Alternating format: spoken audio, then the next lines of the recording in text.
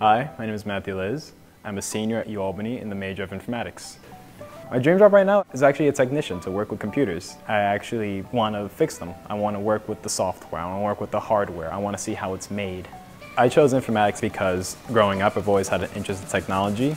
I was able to see that this is my chance to actually use equipment at school and learn with it. Most of the equipment here is a little out of my budget and being able to have someone go, hey, this is how something is done or this is how something is used really helps me learn. Right now we're currently in the makerspace in the ETEC building. This space comes with 3D printers, soldering stations, sewing machines. It's a nice place to work. What actually surprised me the most is a lot of the coursework is hands-on compared to just watching a lecture and taking notes. I gotta say my favorite class is CINF 467, the makerspace with Professor Lazinski.